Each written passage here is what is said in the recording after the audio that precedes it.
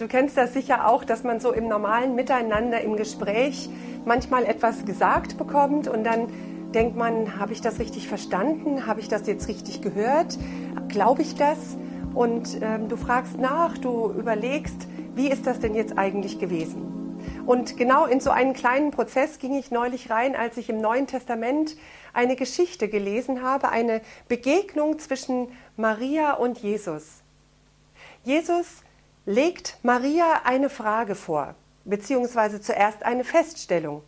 Und zwar sagt er, und jeder, der da lebt und an mich glaubt, wird nicht sterben in Ewigkeit.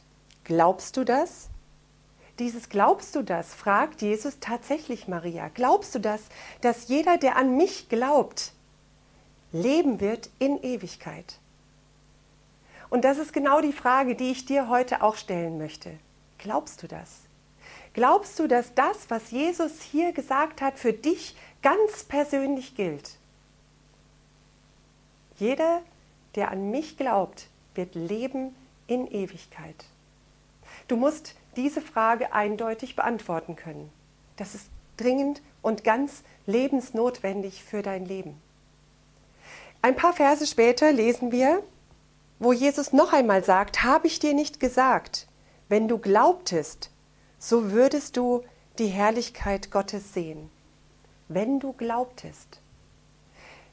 Kurz nachdem diese Frage und diese Feststellung von Jesus getroffen wird, passiert eines der dramatischsten Wunder im Neuen Testament. Lazarus wird von Jesus aus seinem Grab gerufen. Es passiert das Umwälzendste schlechthin. Und die Menschen sehen es. Sie bekommen es mit. Lazarus wird von Jesus gerufen, die Grabtücher werden abgelegt und Lazarus kommt zu neuem Leben. Vielleicht ist das bei dir ja auch so, dass du noch nicht herausgetreten bist, indem du glaubst, dass Jesus dir ewiges Leben schenken möchte. Vielleicht hindern dich immer noch diese Grabtücher und du bist noch nicht zum Leben hervorgedrungen.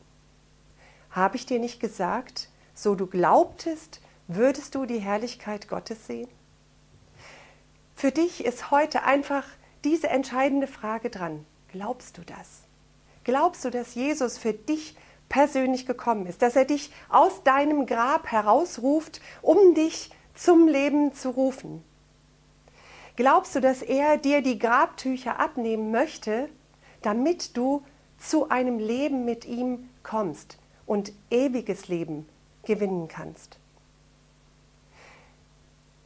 Du kannst auf unserer Webseite ein Gebet finden, das du nachsprechen kannst als Hilfestellung, wenn du mit Jesus in einen Kontakt kommen möchtest und nicht so richtig weißt, was soll ich denn da eigentlich sagen.